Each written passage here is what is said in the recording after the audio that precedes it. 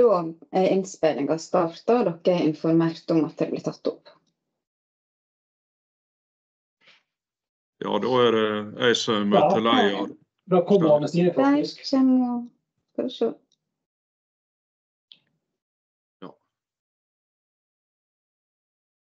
Skal vi se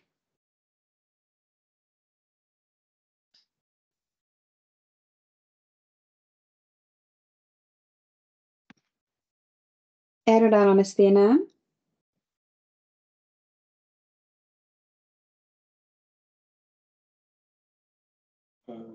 Oi, nå fremme- fremdeles. Hører du oss, Anne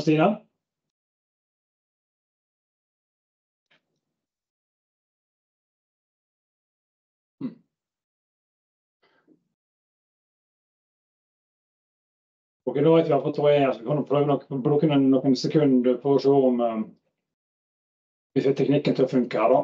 Eller det hovedfeilen til å funke.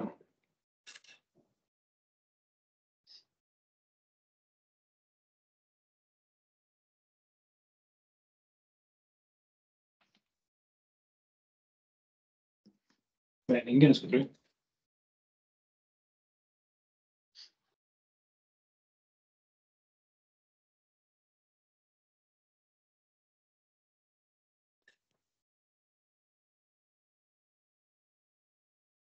Skal vi prøve å ringe Anne Stine og Jeg har akkurat ringt, så jeg skal se hvor det går.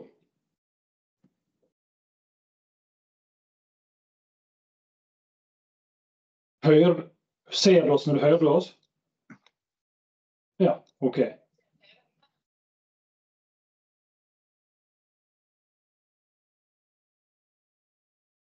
Nei.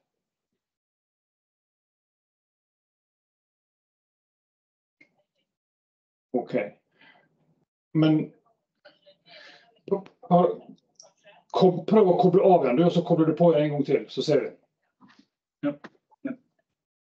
Og uh, høyere oss ser vi oss, men hun kommer ikke gjennom med lyd til oss. da. Så vi vi prøver å koble, hun prøver å koble på en gang til.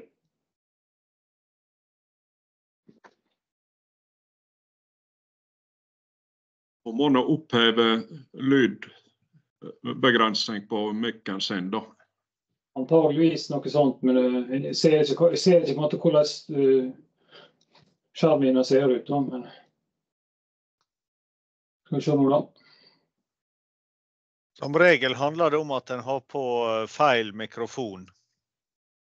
Der, er Ja. der så er mikrofonen, der er en liten hake ned. Der har han flere forskjellige, ofte flere forskjellige mikrofoner. Det kan se ut som at samme Hvis jeg legger inn på, på lyd her, har spørs om, om det blir for feedback. Men vi kan prøve med Hvis det er bare telefon, så kan vi ha linja åpen. Ja. Kan du prøve, da.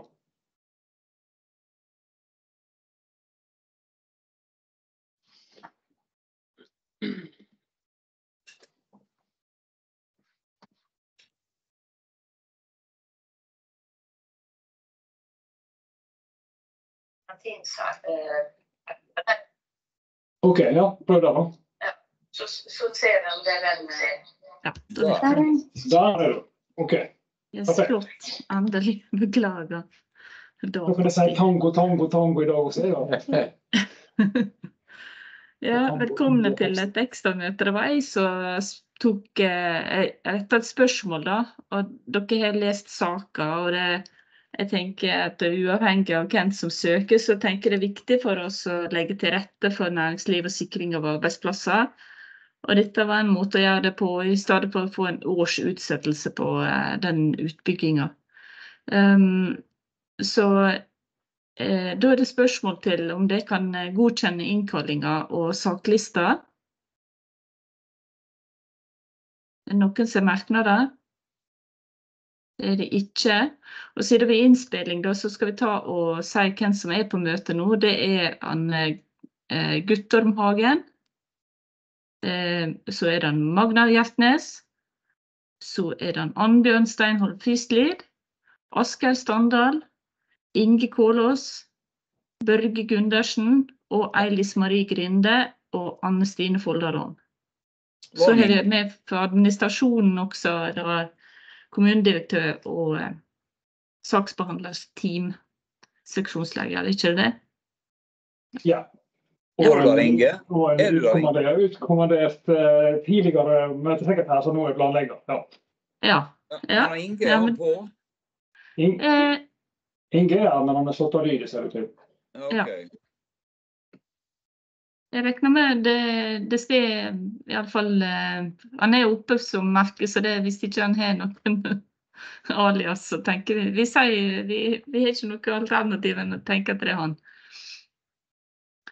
Så da eh, setter vi møte, og så har vi da ei sak. Og eh, den har jeg lest. det Er, er det noen som eh, ønsker ordet i saka? Skal vi ha noe, trenger det noe orientering fra administrasjonen?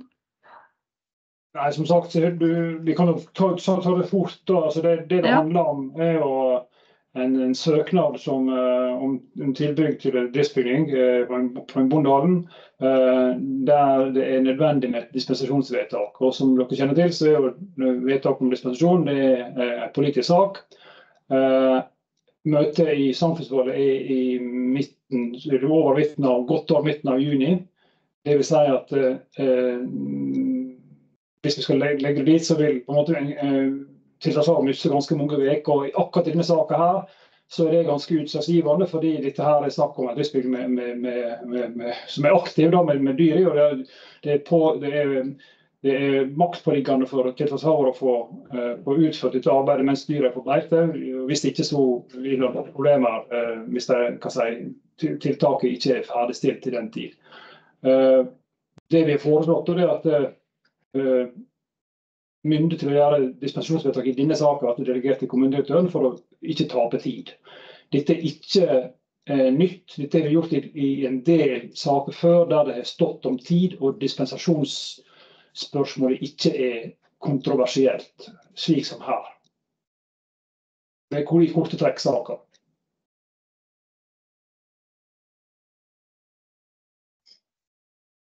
Er det noen som ønsker ordet?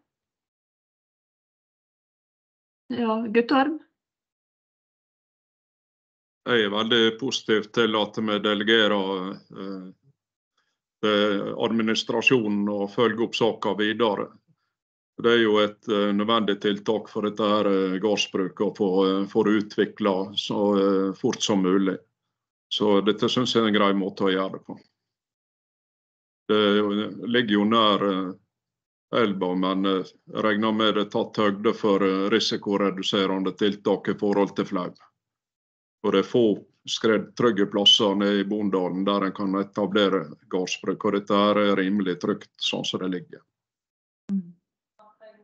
Det ligger vel eh, Lødebrua og um, der er jo også eh, husdyrrom under Lødebrua. Det ligger jo nærere eh, elva enn dette bygget kommer. Men eh, sånn som jeg forsto det, så har det vært til høring også med Vassdragsvesen og med NVE. Så da, da de ikke har hatt noen merknader, så anser vi det som greit å ut, eh, uthake.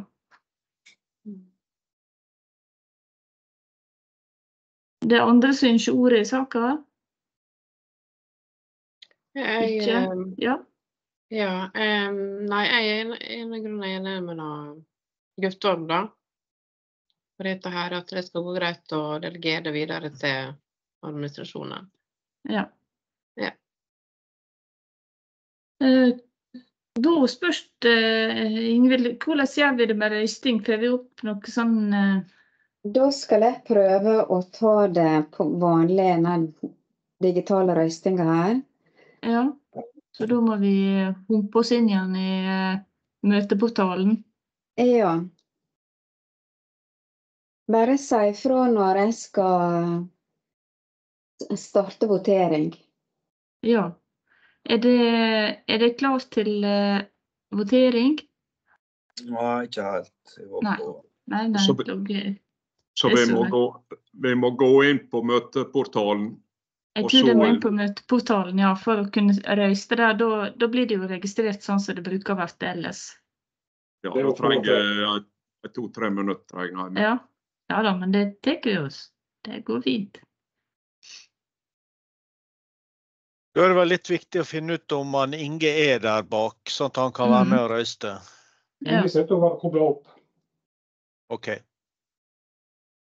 Jeg har fjerna Veronica, så da er det eh, åtte røysteføre. Ja.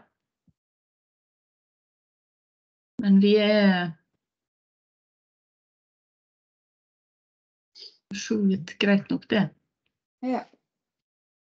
Vi er vedtaksdyktige, så med åtte.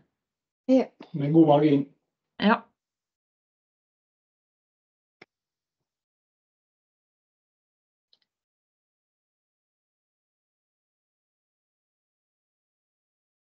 Nå mangler vi bare to, så det går nå veien til her, ser det ut til.